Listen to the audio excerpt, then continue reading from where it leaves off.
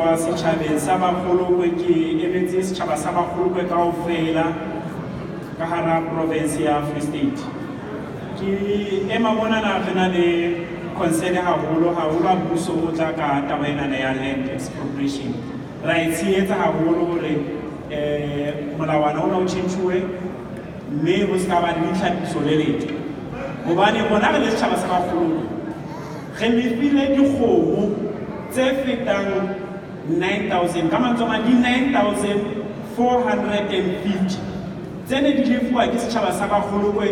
go reka naga ena batswadi batho ere ge re jwetse nnete dokumente ke enana e tlalosang gore thoto ya bagolokwe e nkuwe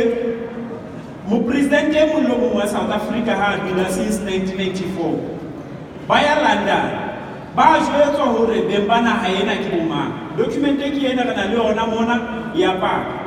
se seng se re se tsebang ko gore um eh, betise o bua ka yona gagolo thuto thuta bagoloko mara borena ba bagoloko ga ona motho a bo considerang gore bagoloko ba tle ba kgone go fumana se e leng sa bona thota ya bona e gutlele matsong a bona re na le bopaki ba ditokomane tse tlhalosang gore thota ya bona e bue ka tsela e jwang ka 1976 bo 1971 go na le batho ba dumetseng gore o be le di-homeland ande ntho e bola ile haholo ya di-homeland because batho ba itseng ba ile ba benefita le boreni bo itseng and-e rona bagolokwe ga sidelineng re ntse re botlhoka dipuso ya rona ga e tlhoka ya setšhaba sa rona ka gona ka gara ditokomane tse re di tshwereng go a tlhaloseya gore bontatamola rona ba lwanetse thota enana ga na le bopaki ba gore ebile ba bangwe ba le ba theya mokgatlho wa dipolotiki ga re tshabe ho kena ka ga mokgatlo wa dipolotiki re le marena obane bagolo ba rona ba ile ba kena ka ga eh, dipolotiki ga o sheba thuta tse kang tsena tsa bo betleleme bona me re tswalletsweng teng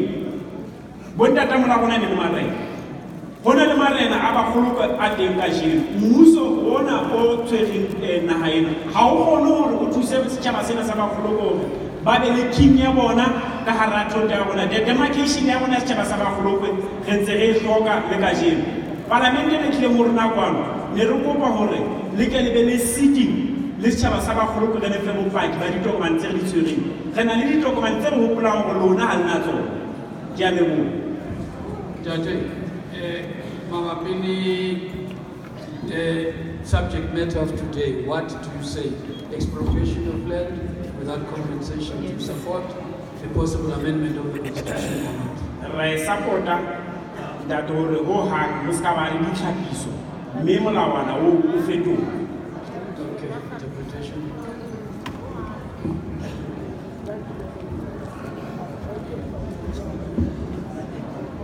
My name is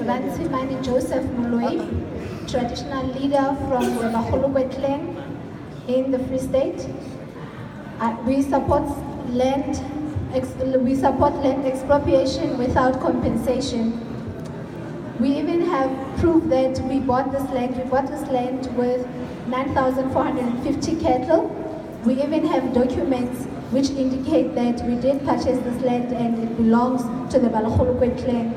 Our land was expropriated and therefore Vetisuk was taken from us. In, 19, in 1971 to 1976, people agreed to the concept of homelands. Some people benefited we as the Baholupe clan, we were sidelined. Our traditional leaders fought and were involved in politics. Our forefathers, we, our forefathers contributed. We also need the opportunity to have our own king as the Baholupe clan. Therefore, we also appeal to Parliament to please have a parliamentary sitting with the Baholowe clan to discuss our chiefdom and also this land that belongs to us.